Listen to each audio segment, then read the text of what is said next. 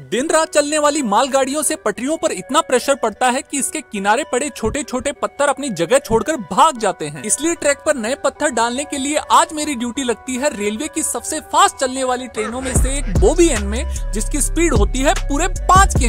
अपने इष्ट देव जोनी सिंस के हाथ जोड़कर और गांजे के पौधे के अगरबत्ती लगाकर मैं निकल जाता हूँ लॉबी की ओर साइन ऑन करने के लिए। मास्टर के ऑफ़िस से लोगों की चाबी लेकर मैं निकल जाता हूँ एक बंद पड़े इंजन को चालू करने के लिए जो खड़ा था इस गैस ले जाने वाली मालगाड़ी के जस्ट पीछे। वैसे तो सारे सरकारी कर्मचारियों के अपने नौकरी के प्रति रोने धोने कभी खत्म नहीं होते हैं, लेकिन जब मैंने केजीएफ वाले रोकी भाई को हथौड़ा लेकर भरी दोपहर में बोबीएन से पत्थर गिरा और खुले जंगल में पेड़ के नीचे बैठकर खाना खाते देखा तो मेरे दिमाग ने मुझसे कहा,